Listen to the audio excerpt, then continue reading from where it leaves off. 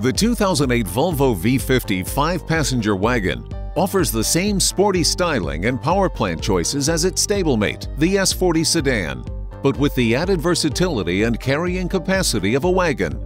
The V50's 62.5 cubic feet of cargo space has made it a popular choice of growing families.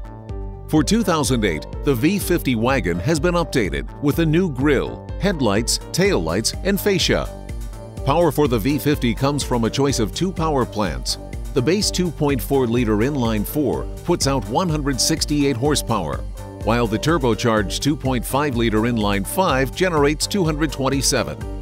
A choice of either a 5-speed manual or 5-speed automatic transmission sends power to the front wheels or available all-wheel drive.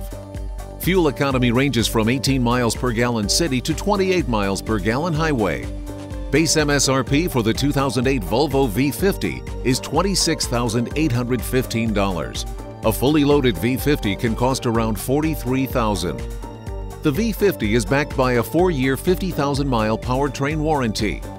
With new design updates and the versatility of a wagon, the 2008 V50 puts some style and substance into the utilitarian wagon class of family haulers.